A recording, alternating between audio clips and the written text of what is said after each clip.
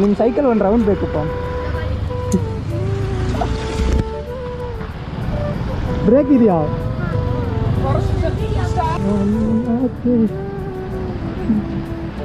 cycle bike yes कितने दिनों बाद चला रहा हूँ साइकिल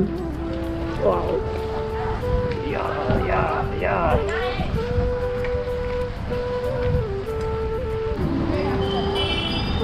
ನೋಡಿ ಬಂದ್ರು ಸೂಪರ್ ಆಗಿದೆ ಬ್ರೋ ನಿಮ್ಮ ಸೈಕಲ್ ಥ್ಯಾಂಕ್ ಯು ಒಂದು ನಿಮಿಷ ಹಾಂ ಬನ್ನಿ ಬನ್ನಿ ಬನ್ನಿ ನ್ಯೂಟ್ರಲ್ ಹಾಂ ಅಪ್ कर सकते हैं